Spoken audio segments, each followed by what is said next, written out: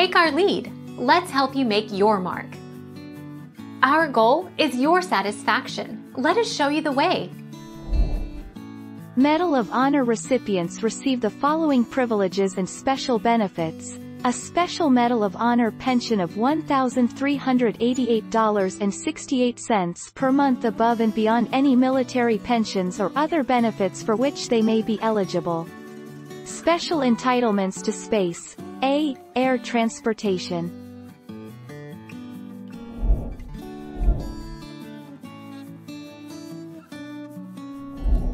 Make your mark. Take our lead.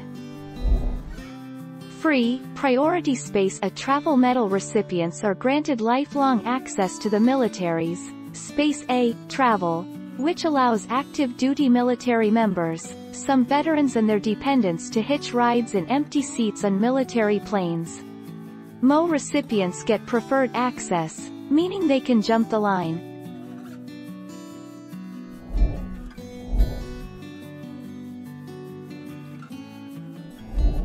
Take our lead. Let's help you make your mark. Officers should salute other officers and authorized civilians of higher rank. Medal of Honor recipients are the exception to this custom, regardless of the MO recipient's rank. Officers and enlisted service members render the hand salute first.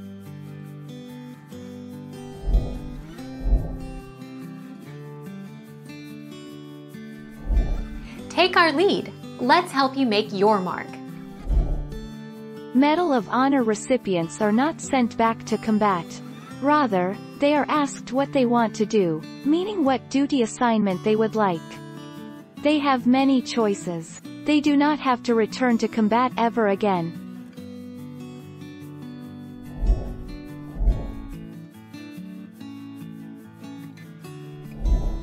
Take our lead.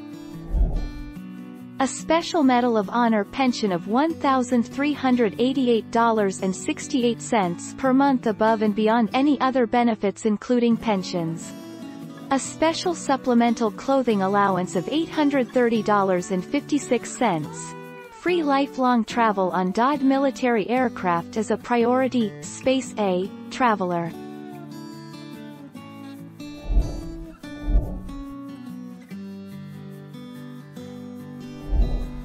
Take our lead.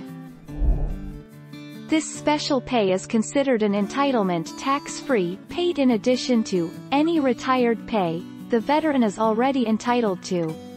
In order to qualify as a Purple Heart recipient, veterans must apply via their branch of the military meet the following conditions. Waive your VA disability pay from your retired pay.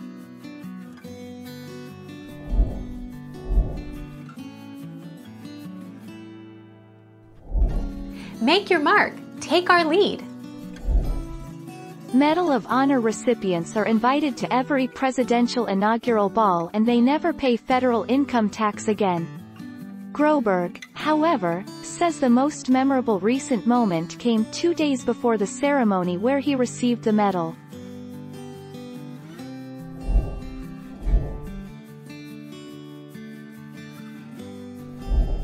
Make your mark. Take our lead.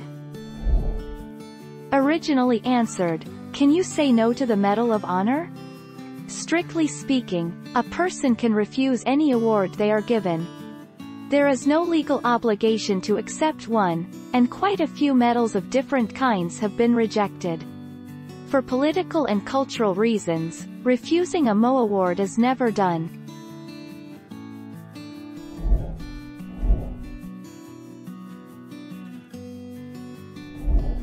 Make your mark. Take our lead. Public Law 88-77, July 25, 1963. The requirements for the Medal of Honor were standardized among all the services, requiring that a recipient had distinguished himself conspicuously by gallantry and intrepidity at the risk of his life above and beyond the call of duty.